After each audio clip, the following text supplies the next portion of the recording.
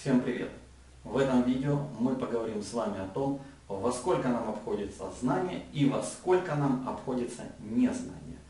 Некоторое время назад я принимал участие в одном тренинге и с одним из участников мы разговорились на тему, а, как работают коммуникативные приемы, приемы воздействия и так далее.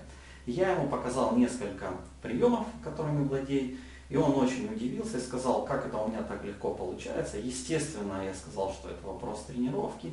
Он спросил у меня, где я проходил. Я сказал, зачем ему об этом знать, потому что это очень дорогое удовольствие, что для того, чтобы действительно овладеть хорошим арсеналом, нужны приличные деньги. А он сказал, а может ли он, могу ли я его научить? Я ему сказал, что да, могу. Я назвал ему стоимость почасовой работы индивидуальной.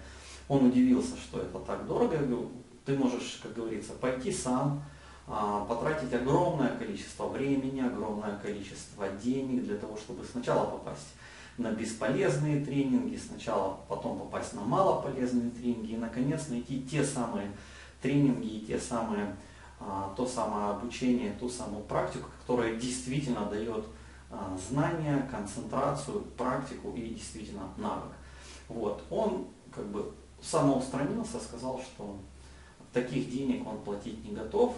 И вот вопрос, что думаете вы по поводу того, дорого ли обходится процедура поиска нужных тренингов и нужных знаний, и дорого ли обходится совет, как сэкономить время и деньги, чтобы не сливать время и деньги впустую. Какого вы мнения? На этом все. Привет.